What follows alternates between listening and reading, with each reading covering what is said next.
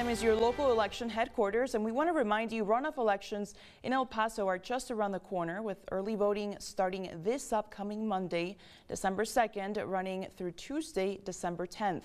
Key races include the mayor's seat and five city council positions, with incumbent Mayor Oscar Leeser leaving office after eight years. The runoff for the mayoral position is between Renard Johnson and Brian Kennedy.